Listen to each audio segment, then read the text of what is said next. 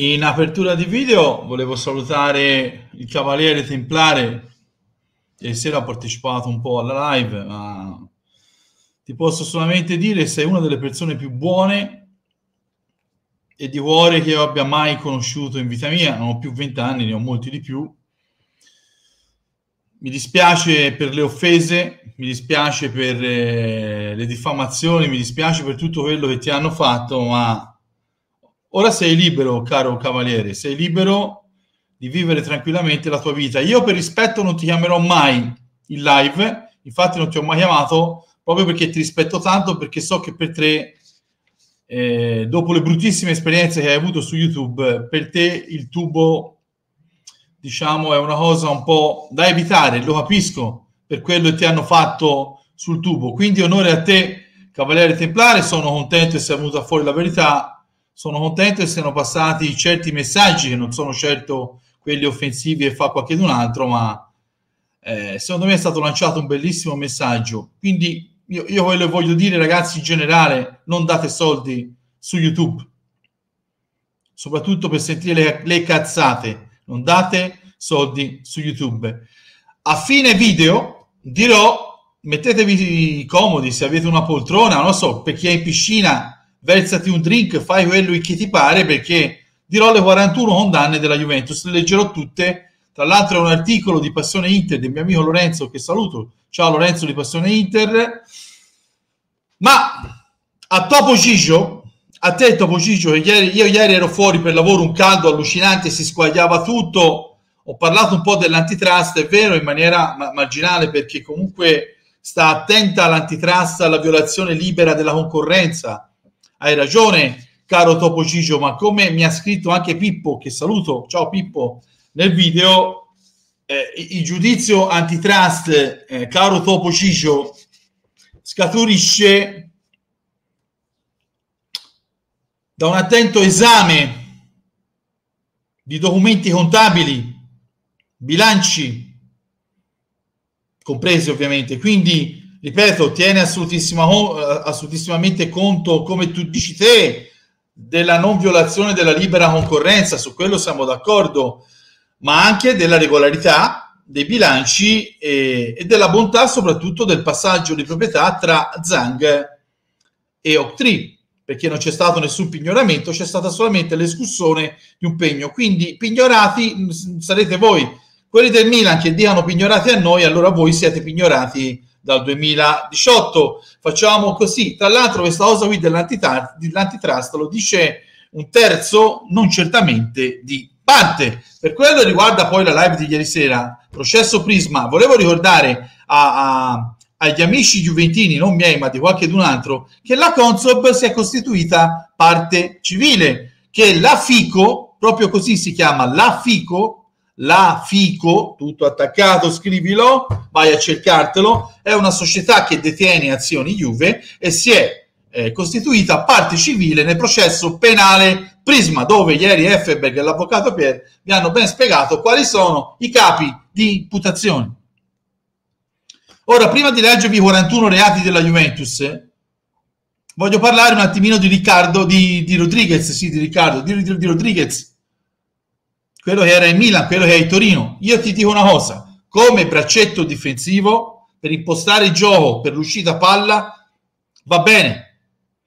Pecca solo in fase difensiva, ma se te me lo prendi come braccetto, hai esperienza, è un nazionale svizzero titolare, la Svizzera, insomma, mi sembra abbia fatto una bella figura ai mondiali. Non sono andati lì a pascolare le pecore per fare il latte e per, per poi dopo produrre la cioccolata. Insomma, mi sembra che sia una bella squadretta la Svizzera. Di cosa stai ragionando?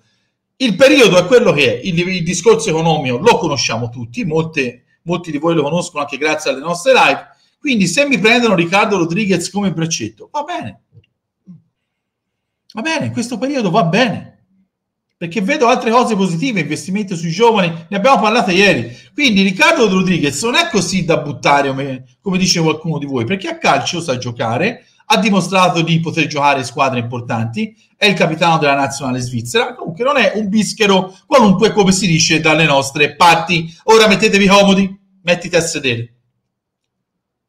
Spegni, spegni la televisione, mettiti a sedere. Passeranno due o tre minuti, ve lo dico subito, chi non vuole ascoltare, spenga pure. Allora, però non lo trovo più, eccolo qua tutte le condanne della Juventus dal 2006 ad oggi, almeno anche il cappello al vento si dà una rinfrescata. Quale body shaming? Ma di cosa stai ragionando? Topo Gigio, ma di cosa ragioni te? Te sei il primo che commenta le, le te, te, Topo Gigio, hai commentato una notizia falsa di Octree che girava su X, ma di cosa ragioni? Secondo te uno di Octree poteva dire quelle cose? Come si fa a commentare una notizia del genere?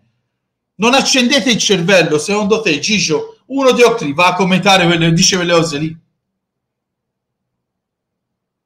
Ma l'oste, secondo te, parlerebbe mai male del suo vino? Ma di cosa ragioni, Ciccio? Ciccione, come cavolo tutti gli anni. Le 41 condanne della Juventus dal 2006 a oggi. Ciao Lorenzo di Passione Inter. Con quella del 29 febbraio il numero di sentenze ai danni della Juventus dal 2006 ad oggi raggiunge quota 41. 41 sul campo e se preferite in tribunale vi citiamo tutte e 41 le sentenze, quindi io incomincerei con 14 eh, luglio 2006. Ah, tra l'altro, tra l'altro, scusate, la Juve ha già patteggiato in Calciopoli 2 per le sim svizzere contro 100.000 euro. Quindi voi siete patteggiatori al quadrato perché avete patteggiato anche per le sim svizzere. Comunque andiamo ai reati. 14 luglio 2006, primo grado Calciopoli, 25 luglio 2006, secondo grado Calciopoli, 27 ottobre 2006, arbitrato CONI su Calciopoli. 18 giugno 2008, patteggiamento su schede Sim Svizzere, l'ho appena detto. 16 giugno 2011, radiazione Moggi e Giraudo. 9 luglio 2011, Calciopoli, secondo grado, conferma della radiazione di Moggi e Giraudo. 18 luglio 2011, respinto il FGC l'esposto contro lo scudetto 2006 assegnato all'Inter.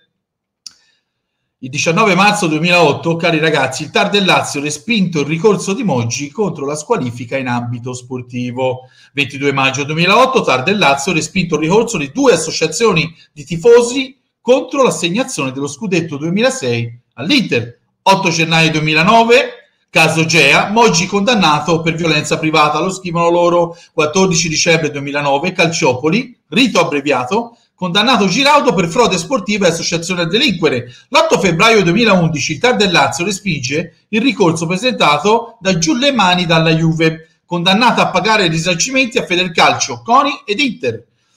Il 25 marzo 2011, cari ragazzi, caso Gea, secondo grado, attenzione, confermata la condanna a Moggi per violenza privata. 8 novembre 2011, sentenza penale di Napoli. Moggi condannato a 5 anni e 4 mesi per associazione a delinquere. 9 novembre 2011, ricetto dell'esposto da parte dell'UEFA.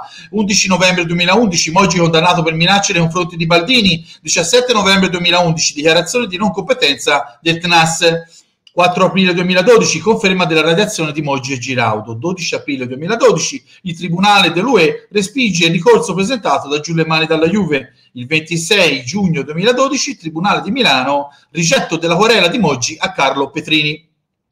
30 giugno 2012, la Corte dei Conti respinge il ricorso Juventus decretando la FIGC non responsabile di danno erariale per essersi dichiarata non competente a decidere nel 2006.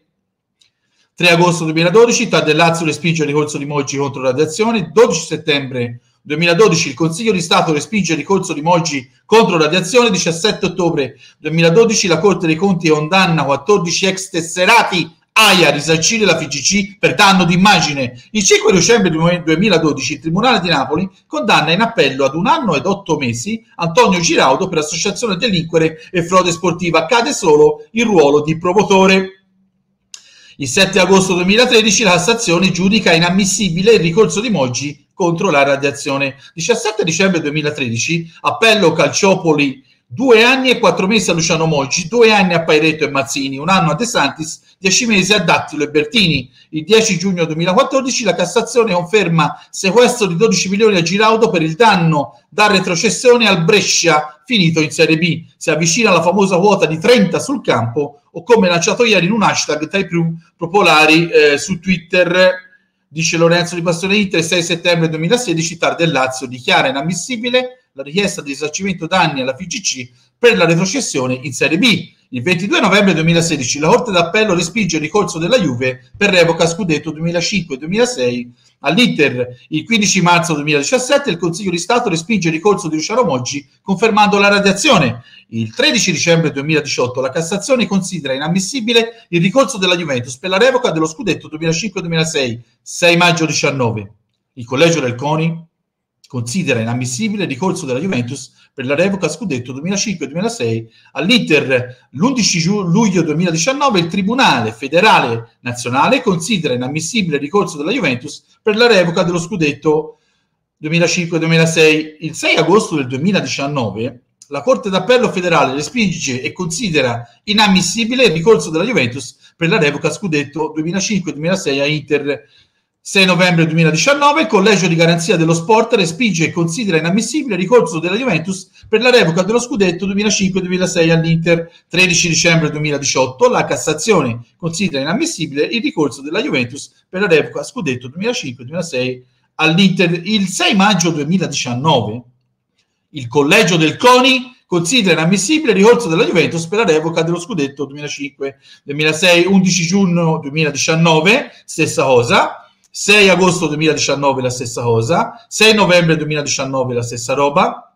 il 20 gennaio 2023 la Corte federale dell'appello della FIGC ha combinato una penalizzazione di 15 punti in classifica nei confronti della Juventus per il caso plusvalenze. 22 maggio 2023 la Corte federale d'appello della FIGC ha combinato una penalizzazione di 10 punti in classifica nei confronti della Juventus per il caso plusvalenze. 19 ottobre 2023 la Procura Federato ha combinato una squalifica a Nicolò Fagioli di 12 mesi, di cui 5 mesi di servizi sociali e un'ammenda di 12.500 euro in merito al calcio scommesse. La sentenza è arrivata dopo il patteggiamento del giocatore 6 gennaio 2024. Di cosa ragioni?